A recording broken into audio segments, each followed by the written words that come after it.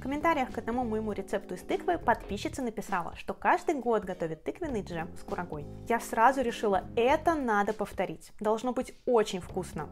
Проверим?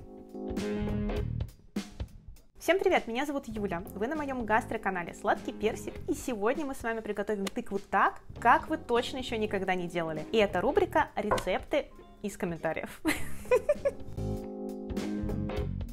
Нам понадобится тыква, примерно 1 килограмм, сахар, примерно в два раза меньше, чем тыквы, у меня 500 грамм, курага 200 грамм и лимон, одна штука. Он нам нужен и для цедры, и для сока.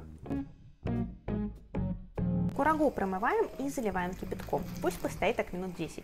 Кстати, этому трюку меня научил продавец сухофруктов на рынке. И потом нарезаем курагу на кусочки.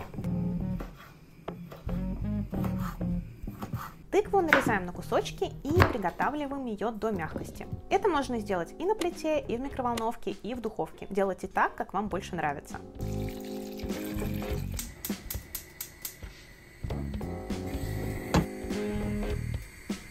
Дальше хорошенько промываем лимон. Мы будем использовать цедру лимона, поэтому я мою лимон со средством. Натираем цедру на мелкой терке и выжимаем из лимона сок. Нам нужно примерно 3 столовые ложки.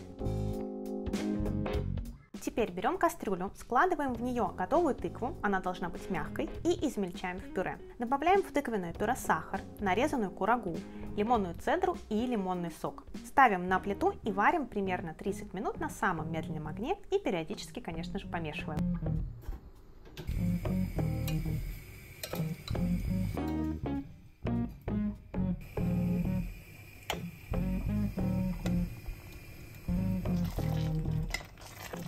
Готовый джем разливаем по баночкам и наслаждаемся.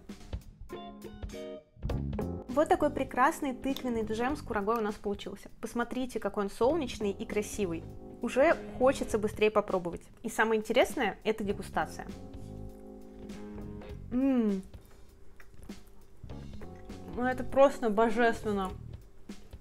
Спасибо вам большое за рецепт. Теперь я буду тоже так готовить. Постоянно.